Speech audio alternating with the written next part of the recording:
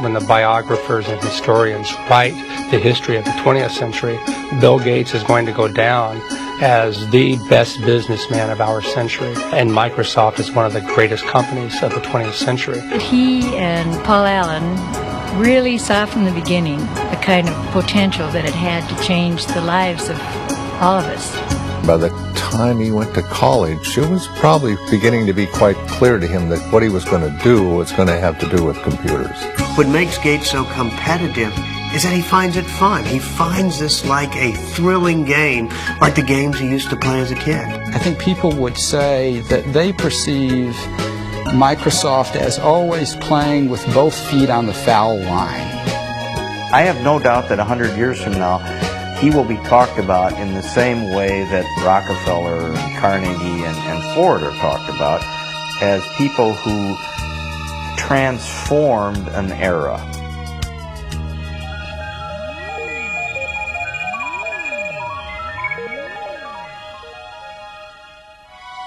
The Pacific Northwest, with its resources and raw beauty, has long lured pioneers and visionaries. Among them was Bill Gates' great-grandfather, J.W. Maxwell, who founded First National Bank in Seattle. The Maxwells enjoyed their privileges and social position, but were never ostentatious. Their son Willard, also a banker, and his wife Adele, who had a passion for playing cards, were among Seattle's top civic leaders. Their only child, Mary, was a lively, intelligent girl who made a name for herself as a student leader at the University of Washington. Athletic and outgoing, Mary Maxwell was sometimes referred to as Giggles. Her drive and energy impressed everyone. There tends to be a handful that is right at the core of the action. Mary was at the core of the action. Mary was unaffected, straightforward, charming, but immensely determined. It was at the university that Mary Maxwell met and fell in love with a quiet, scholarly young man named Bill Gates Jr. Bill would go on to become one of Seattle's most prominent attorneys. When Bill and Mary wed in 1951, she decided to give up a career as a teacher to raise a family and devote time to charitable work. The first of the Gates' three children, Christy, was born in 1953. She was followed by a brother, Bill Gates III, born on October 28, 1955. He was given the nickname Trey. That derives from the fact that he was William H. Gates III. And the card players in the family think of anything with a three as being a Trey, so he became Trey. His mother had an extremely close relationship with young Bill. She even took him with her when she volunteered as a lecturer in Seattle schools. Soon her precocious son would read the World Book Encyclopedia from A to Z. We'd lose him sometime for hours at a time, and when I would ask, What are you doing? he'd say, I'm thinking, Mother. Well, they say curiosity killed the cat, but it didn't kill Bill. Bill was curious. He was always eager to know more, and he had encouragement from his mom and dad. The Gates family prized competition, and young Bill loved testing his mettle in outdoor activities and indoor games. Among his favorite board games were Risk, in which the object is world domination, and Monopoly, where being in the right place at the right time can make you rich. He was competitive in cards with his sister, races to see who could do jigsaw puzzles faster, ski racing, sailing, whatever. He wanted to do it well and as good as the other folks that he was with. Every summer, the Gates family went off to their place on the Hood Canal called Cheerio. It was here that Bill, his younger sister Libby, family members, and friends staged their own Olympic Games. If you stayed overnight and had a couple of days with them, you would come away exhausted from games and activity. It was a very lively scene. It was definitely competitive, there's no question about it, and the children were all part of that. There was never a dull moment. The first World's Fair in the United States in 2020. The Seattle World's Fair opened in 1962, displaying the wonders predicted for the 21st century, including computer technology. Young Bill Gates got an eyeful. Imagine, if you can, an electronic brain. Bill often returned to visit the high-tech exhibits. It was clear that he had a natural talent for math and science. But he was also becoming something of a loner, showing signs of preteen rebelliousness that put him at odds with his mother. Mary and I grew up in very orderly families where parents were controlling personalities, and we we carried that forward. And that particular mode wasn't exactly consistent with Bill or Trey, who somewhere around about 11 or 12 began to be very independent emotionally he was quite willing to make up his own mind about what he wanted to do and not do. And that was really tough for us, particularly for Mary. He was kind of lost. I mean, he was ill at ease in school, uh, wasn't sure exactly how he wanted to spend his time. Obviously, very smart, brilliant kid, um, but kind of lacking direction. And he went through some counseling at that time. He went through um, a change in his school. While they believed in public education, Bill's parents realized he'd find more direction and discipline at Lakeside, Seattle's best private prep school. Lakeside only accepted the brightest and the best students, and at Lakeside, Bill began to blossom. He made new friends and relished academic challenge. He was an excellent math student. He was excellent across the board. I mean, he was a superb drama student and interested in reading all different kinds of books and so forth. So there was a he wasn't just totally math science oriented. He had a, a wide breadth of interests. When Bill started high school in 1969, the U.S. space program was at its apex. Apollo 11 took men to the moon that July, and computers made it possible. They were giant machines that cost millions of dollars and required an army of people to run them. Most schools then could never consider buying a computer, but Lakeside had made an extraordinary deal that would be fateful for Bill Gates. A Seattle company offered the use of its computer through a teletype link to the school.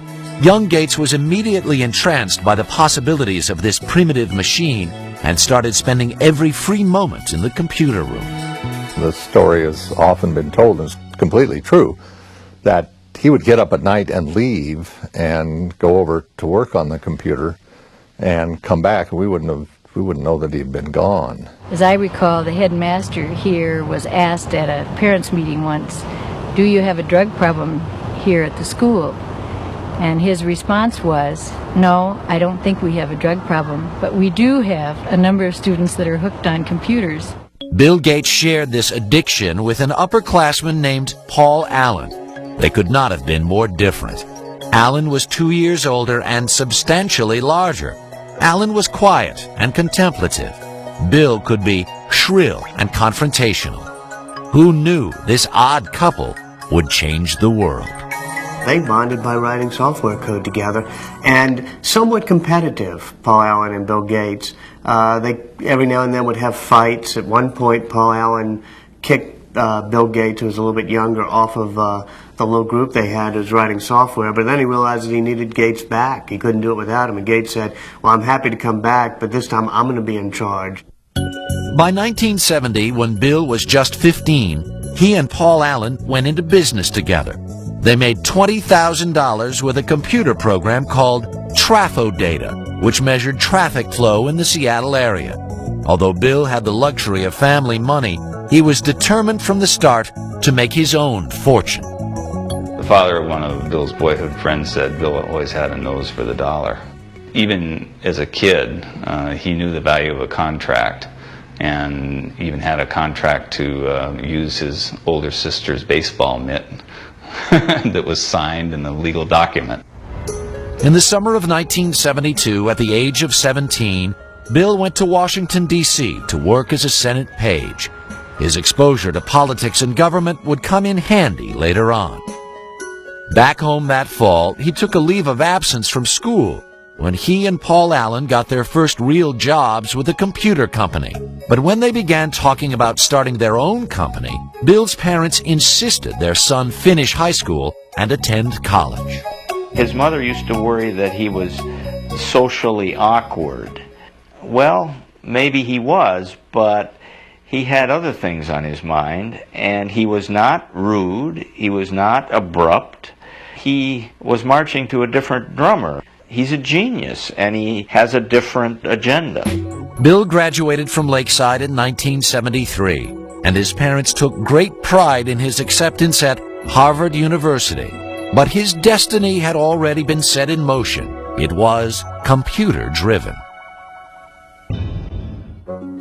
In the fall of 1973, Bill Gates said goodbye to his family and Seattle and headed east to Cambridge, Massachusetts. As a freshman at Harvard, he thought briefly about preparing for a career in law, but no course of study ignited his imagination like his work with computers. Bill was somebody who was always very determined to do what he was interested in doing. The things that he was less interested in, which often included his academic classes, he tended simply to coast and get by on talent. I remember there was a uh, course in Introduction to Greek Literature where he'd really done, as best as I could tell, none of the uh, work during the year. Stayed up all night the night before the exam, slept through part of the exam, and still got a B. It was not surprising Gates fell asleep during a test. Between his classes and the time he spent at the Harvard Computer Center, he seemed to be on the go 24 hours a day.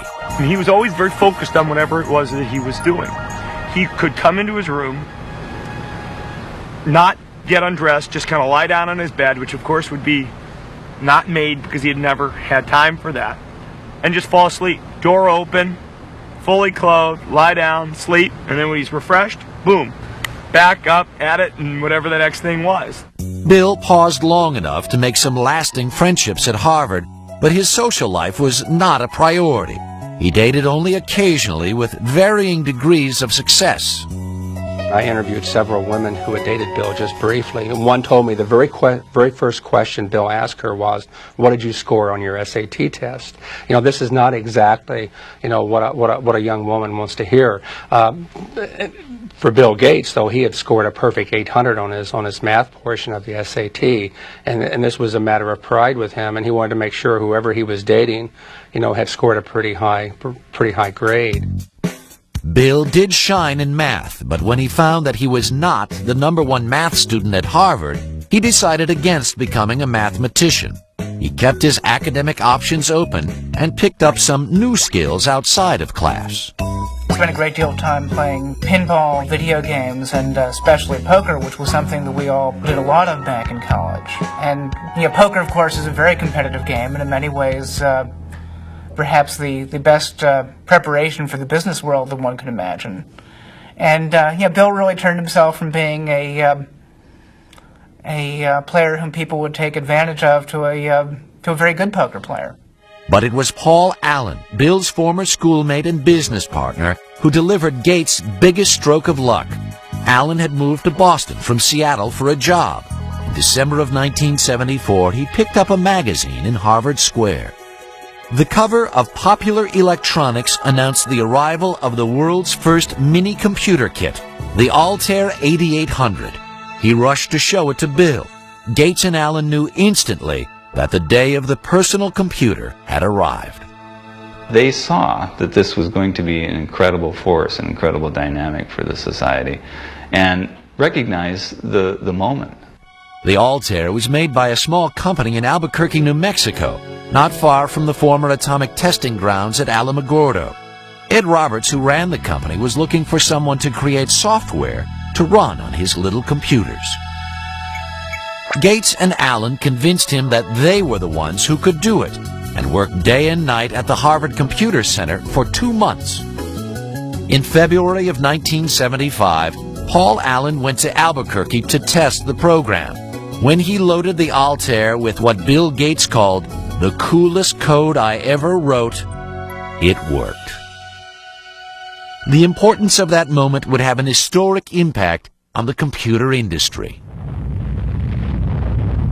I don't think we appreciated the significance of the Albuquerque thing when it first happened. but it didn't take long to realize that uh, they were at the threshold of something that could be quite significant. For 19-year-old Bill Gates, life would never be the same. In the summer of 1975, he and Paul Allen formed Microsoft. Their ongoing work with Ed Roberts' company became so consuming that Bill dropped out of Harvard just before his senior year and moved to Albuquerque.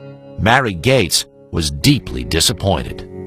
We told him that we'd put some money aside for him to attend school, and if he didn't finish in a few years, we'd have to make some other use of those funds. And by that time, he allowed us out. That would be okay. He'd probably be able to afford to go back if, if and when the time came. Bill was certain that he'd made the right decision, but making it its software would not be easy. Back then, the personal computer culture was populated by users who shared new information and software. They were not interested in paying for it. It was a custom that put Bill at odds with his peers. Hey, you know, it was a bunch of high school kids and college kids who were doing something very non-mainstream. And Bill was very unpopular because he said, hey guys, don't steal this stuff. We made it and we own it. And that was, yeah, he was one of the business guys in what was a lot of geek hackers. In fact, Gates wrote an open letter to computer hobbyists chastising them about making copies of Microsoft's program. It stated, as the majority of hobbyists must be aware, most of you steal your software. Hardware must be paid for, but software is something to share? Who cares if people who worked on it get paid? Is this fair? But those who have been reported to us may lose in the end. He was looked at as kind of a renegade, and it was different, you know, a different ethic than, than prevailed at that time. But I'm not sure that the software industry would have evolved in anywhere near the way it has without somebody standing up and saying that that was necessary. Bill had also been battling with Ed Roberts, who considered him spoiled and obnoxious. The two disagreed about almost everything, and Roberts was a formidable adversary. Ed Roberts was a massive man, something like 6'6", weighed 300 pounds. Here Bill Gates was. I mean, he formed Microsoft at age 19, and he looked like he was 13 years old. Uh, he was standing up to this, this bear of a man going face to face with him and screaming and shouting matches. A final confrontation came in May of 1977 when Roberts sold his business and Gates had to sue to keep the software he and Paul Allen created for the company. Gates won. We take a hard line on software. Microsoft expanded into new software languages and Gates and Allen started to sell their products to other computer companies. At the end of 1978, with sales approaching the 1 million mark, they moved Microsoft from Albuquerque to Seattle. Bill was glad to be home and soon added Pitchman to his rapidly expanding resume. We always design with the future in mind. Our research people are always tracking the latest in hardware and software technology. It was Bill Gates who was actually the, the, the, the, the real marketing genius behind Microsoft. Early on, he was the one who was actually going out on the road and trying to sell this company and its software. And oftentimes, he would take his mother with him on these trips. Bill's highly respected and well-connected mother would come to play a pivotal role in Microsoft's future. Mary served on a number of corporate boards as well as the University of Washington.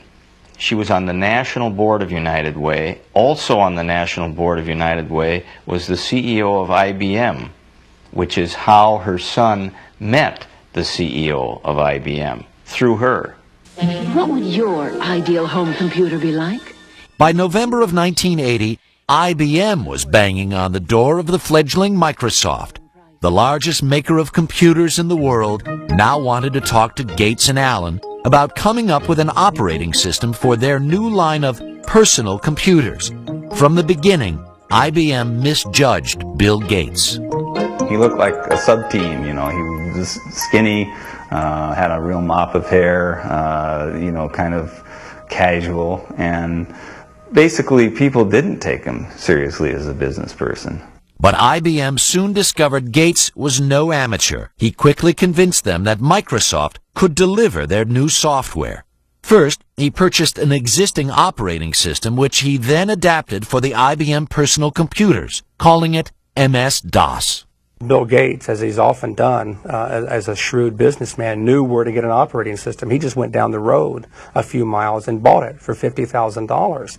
But then the real brilliance was that when, when, when they developed that operating system for IBM, IBM wanted to buy the source code, which would have given them the disk operating system or what became known as DOS. And instead, Microsoft refused to actually sign the rights over to DOS. By not owning the rights to the operating system, IBM would now have to pay Microsoft a licensing fee for every single copy of DOS installed in its computers. in the company. As other companies introduced personal computers that were cheaper than IBM's, Microsoft sold the same operating system to them too. There were all kinds of computers that were being conceived at that point in time. And it struck me that I don't know who will win in the hardware business, but Microsoft has a very good chance to win in the software business. Between 1978 and 1981, Microsoft's growth was staggering. The staff was enlarged from 13 employees to 128. Revenues mushroomed from 4 to 16 million dollars. By 1983, 30% of all the personal computers in the world were running Microsoft software. Still, Bill Gates never took his eye off the bottom line. He never flew first class unless it was absolutely necessary. You would, you would often find him sitting in coach, in fact, with a blanket over his head so he could get some sleep. So his parents taught him well early on the value of money and hard work and, and, and, and translated later into his life with, with not only how he ran his personal life, but how he ran Microsoft. My name is Bill Gates. I'm chairman of Microsoft. The early 1980s was an exciting time for an industry run mostly by people under 30. Microsoft began working on software for innovative companies like Apple and its guru Steve Jobs. Apple's Macintosh computer and software were ingenious and user-friendly, and many believed Apple was the way of the future. To create a new standard, it takes something that's really new and really captures people's imagination. And the Macintosh, of all the machines I've ever seen, is the only one that meets that standard. It wouldn't be long before Microsoft and Apple would be locked in a bitter battle. Bill Gates' partner and boyhood friend would be in the fight for his life.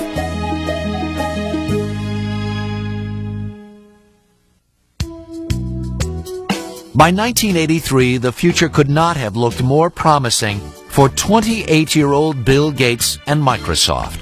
The personal computer business was booming, and there was an ever-increasing hunger for software.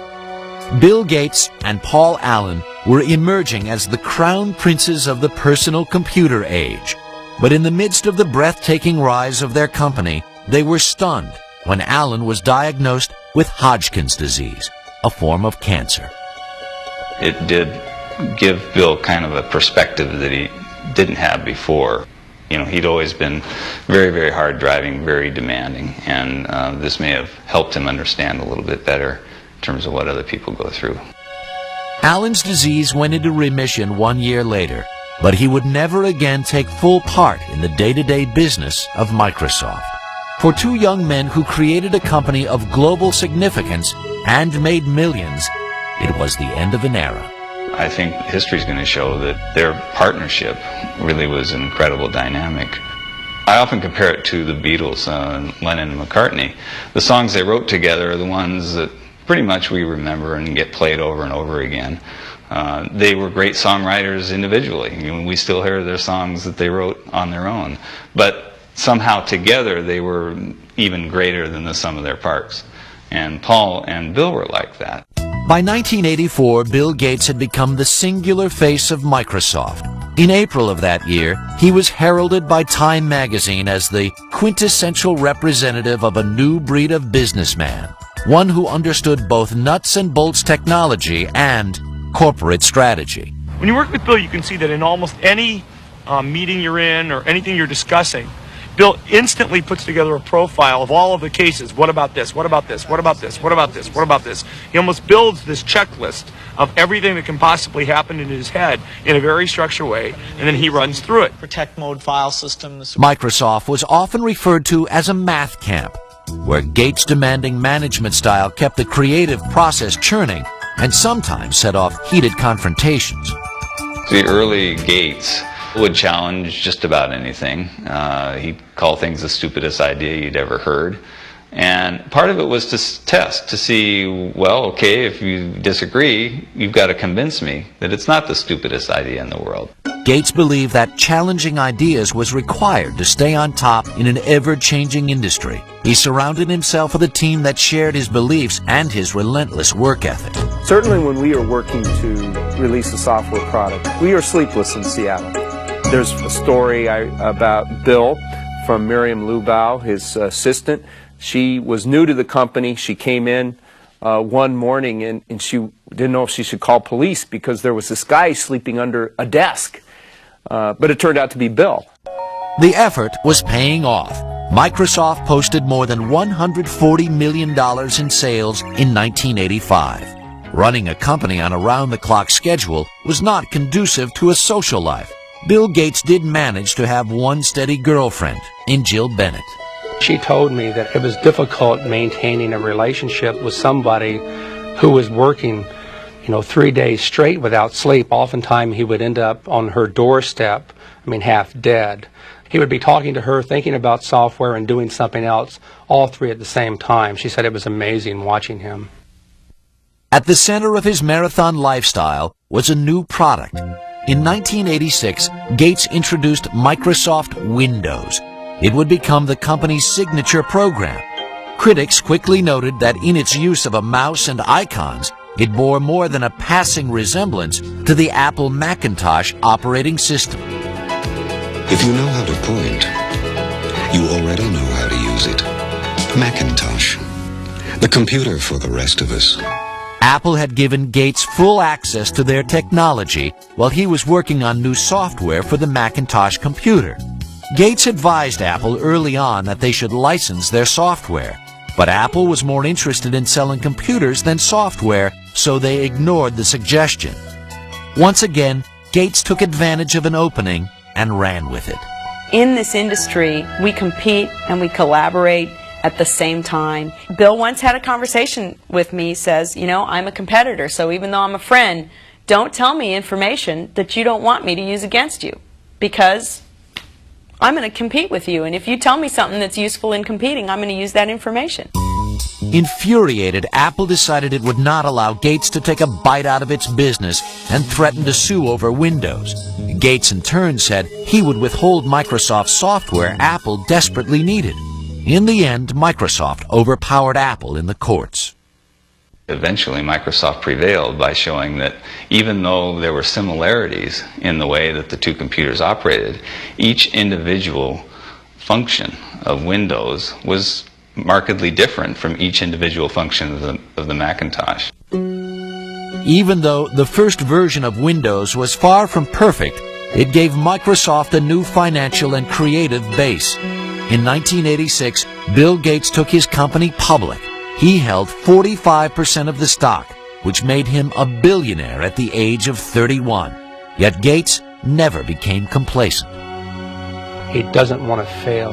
And when you have that kind of a fear, when you're always looking in your rearview mirror to see who might be, you know, creeping up to do in Microsoft on a given day, uh, it, it, it just consumes him uh, and, and it makes him certainly the most competitive human being in the personal computer industry.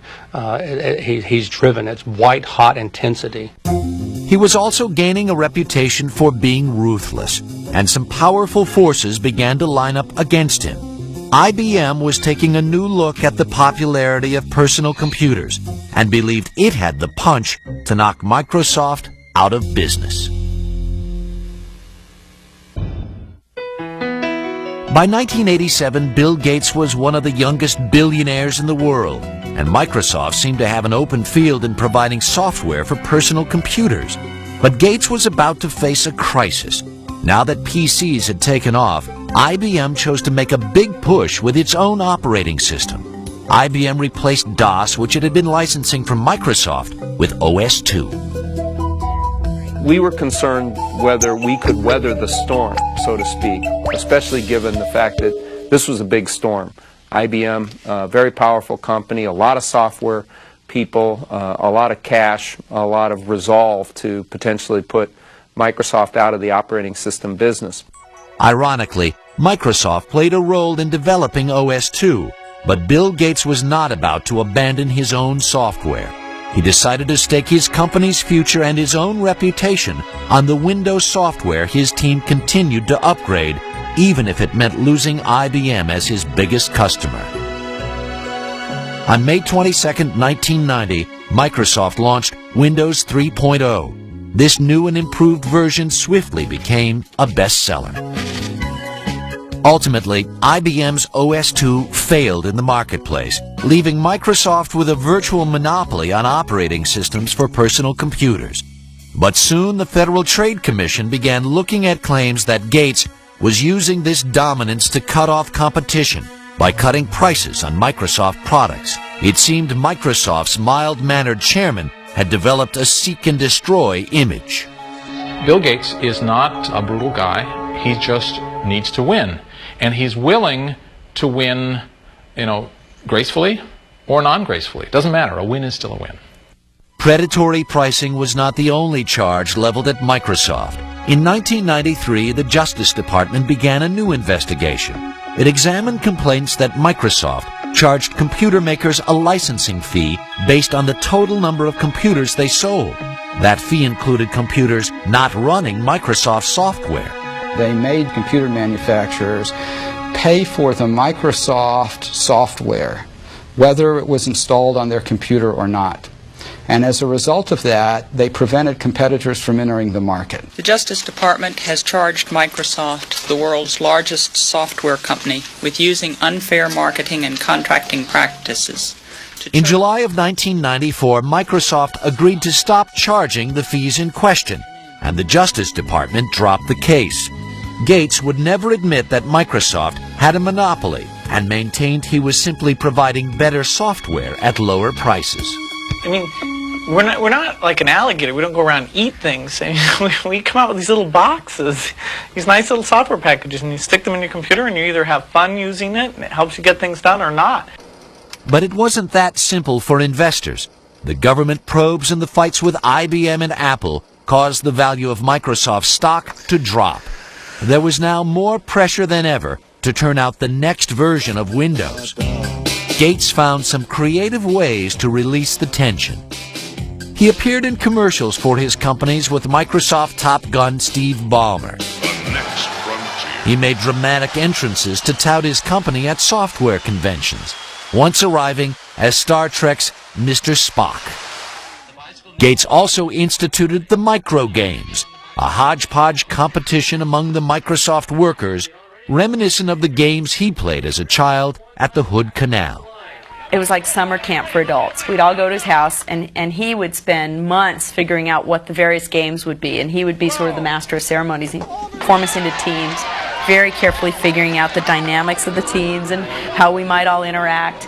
And then we would have to do these, these like summer camp games. And uh, I met Melinda first at one of those micro games. Melinda was 28-year-old Melinda French, a Duke graduate with an MBA. She had been working as an executive at Microsoft for several years. It was becoming increasingly clear to Bill's family and friends that she was the woman that the 37-year-old Gates had decided to marry. He dated Melinda for quite a while before they got married. And so I saw them together um, over the years, and they always looked like they had a very special thing going, you know, a level of intimacy and a level of intellectual connection that just caused sparks. She's a really wonderful person, a perfect match for him. Very, very bright, very organized, very supportive, very interested in family and and uh, good family life. Bill and Melinda were wed in Hawaii on January 1st, 1994. The night before the ceremony, Bill had arranged for a special serenade. he had Willie Nelson play the night before his wedding, and it was a total surprise. Bill got up and he said, You know, I really love Melinda, and I really want to sing her some songs tonight, and I I don't sing that well, and so I asked a friend of mine to come and do a little singing for us, and so it was a big surprise. In Melinda, Bill found a partner who recognized his commitment to Microsoft and understood the professional demands of his business. But just months after his marriage, the bliss Bill shared with his family would turn to heartache. His mother Mary, who had been his most devoted ally, was diagnosed with breast cancer. She died in the early morning of June 10, 1994. Bill rushed home to be at his mother's side. When he came to the house that night, he'd been stopped by the police on the way because he was speeding. And, and of course, the policeman recognized him. Wasn't the first time he ever got stopped for speeding, by the way. And they looked at him and they said, what's going on? Because he said, you know, I was sitting there and the tears were just running down my face. and policeman said, well, he, said to the policeman, I'm sorry, he said, my mother just died. the policeman said, well, you go ahead, you go on home, but please slow down a little bit if you don't mind. So he was he was very deeply affected by his mother's death, as we all were, of course. In the years that followed, Bill picked up where his mother left off by creating a philanthropic foundation. Gates was a billionaire with enormous power. Microsoft was a dominating giant. What the government thought it was time to cut Bill Gates and his company down to size. By 1995, 39-year-old Bill Gates had settled into a new life as a married man. With his wife Melinda, he took time off to explore the world from Africa to China. It seemed that Bill Gates now truly had it all. This is a man, a man so successful, his chauffeur is Ross Perot, ladies and gentlemen. Please welcome Bill Gates and the Bill Gates Dancers. 1995 was also a banner year for Microsoft. Windows 95 was introduced to great fanfare. Tonight Show host Jay Leno kicked off the ballyhoo for the new software. Windows 95 is so easy, even a talk show host can figure it out. Clearly, Gates was still Microsoft's best salesman, but from now on it wouldn't be all business for the boss. On April 26, 1996, Bill and Melinda welcomed their first child, a daughter, Jennifer. He just loves that little girl. It's just so marvelous to see. It's very gratifying to a father to see his own son have the same feeling about children that I did about him and his sisters. So it's uh, it, it's really gratifying. At the age of 42, Bill Gates was an icon of the American establishment, the richest man in the world with a personal net worth of more than $50 billion, and a member of a power elite, which included President Bill Clinton, who shared his newfound enthusiasm for golf. The Gates style never meant flaunting wealth, but Bill spent considerable money for convenience and comfort. In 1997, Bill, his wife, and his daughter moved into a $54 million dream house.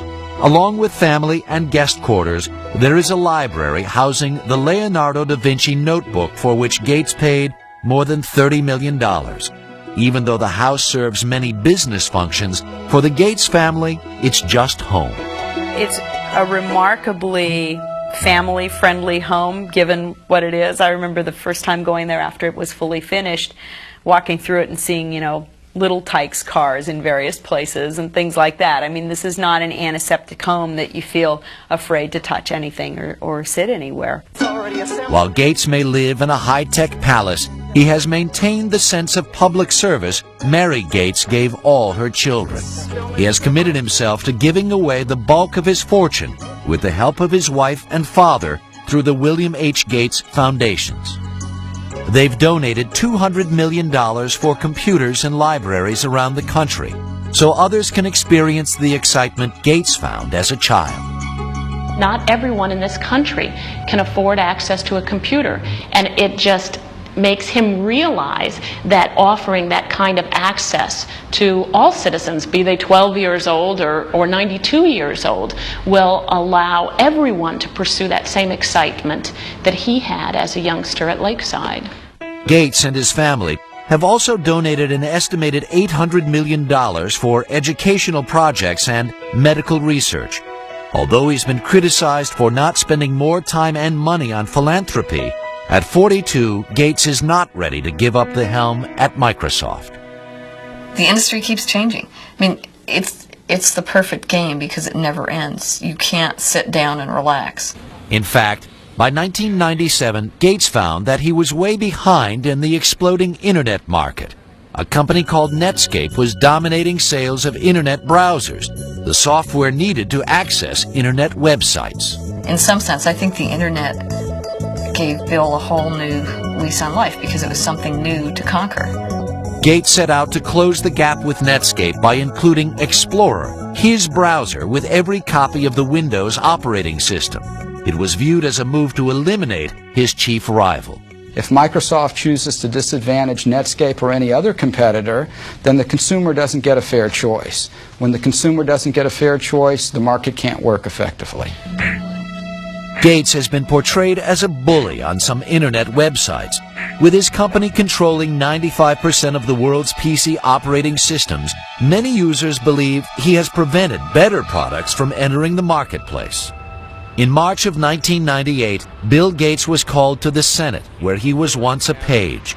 Again, he was charged with running an illegal monopoly. In the electronic marketplace, Microsoft has the power today to exercise predatory and exclusionary control over the very means by which we access this internet. It's a lot like General Motors having the ability to dictate what type of gasoline you put in your car or what interstate you can drive on or even how you get on the interstate. Despite the accusations, an earlier injunction preventing Microsoft from giving away its internet browser with Windows 98 was revoked.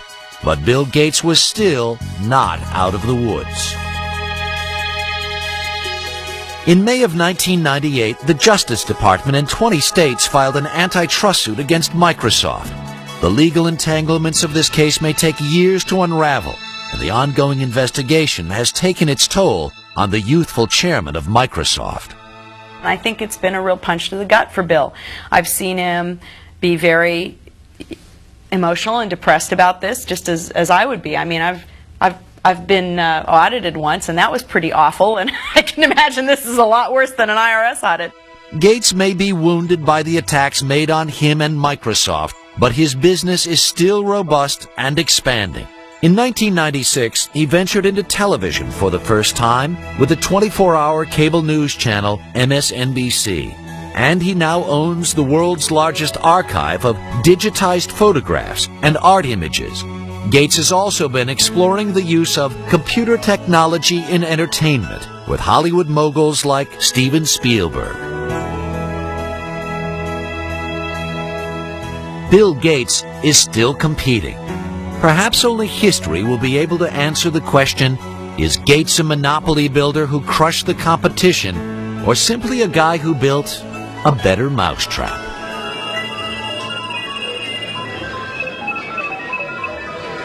when the biographers and historians write the history of the 20th century, Bill Gates is going to go down as the best businessman of our century, uh, and Microsoft is one of the greatest companies of the 20th century. It's remarkable what this company has managed to do in so short a time. This is one of the great success stories of the 20th century.